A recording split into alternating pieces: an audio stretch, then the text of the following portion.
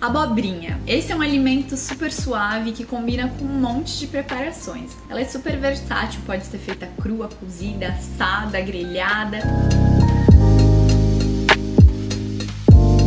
Hoje eu vou ensinar duas receitas para vocês não cansarem de consumir abobrinha sempre do mesmo jeito. E se engana se você acha que eu vou te ensinar a fazer um macarrão de abobrinha que toda Nutriama. Não, eu vou utilizar aqueles dois molhinhos que a gente fez no outro vídeo, o molho de tomate, que é super básico, e o molho de azeitonas, que vai dar um toque super especial para abobrinha. E o que vai fazer a diferença aqui nessas duas receitas é o modo de corte. A gente vai fazer dois cortes diferentes delas e eu convido vocês para aprender comigo. Para a primeira receita, você pode pegar uma abobrinha inteira, o que estou fazendo menos aqui hoje, e cortar ela no meio.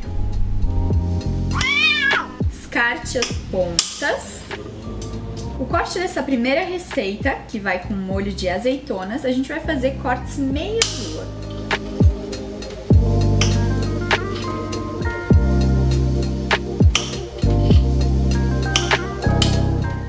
Frigideira de tamanho médio e fogo médio também. Quando ela estiver bem quente, a gente vai regar com fio de azeite e juntar com alho, apenas para perfumar. Coloque as abobrinhas bem espaçadas umas do lado da outra, sem sobrepor uma a outra. Se não couber de uma vez, prepare em levas. Deixe dourar por cerca de 2 minutos e depois a gente vira com uma pinça para dourar do outro lado.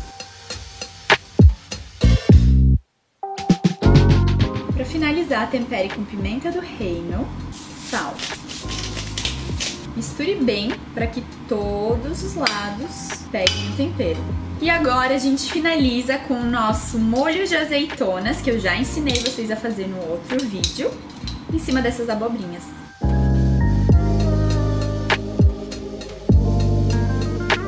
Para essa receita de abobrinha, a gente vai usar esse molho de tomate que a gente fez no outro vídeo. Mas se você tem uma outra receita sua de molho de tomate, você pode utilizar também. A gente vai começar colocando o molho de tomate e aquecendo ele. E agora deixa esquentar esse molho. Enquanto isso, nós vamos cortar a abobrinha dessa forma, em rodelas mais grossas. Agora a gente coloca as abobrinhas aqui dentro.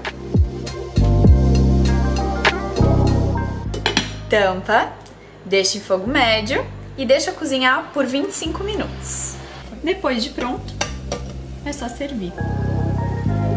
Fica delicioso se você tiver folhas de tomilho e jogar por cima. Mas se você não tiver, inventa aí um manjericão, um orégano, só para dar aquela finalizada deliciosa.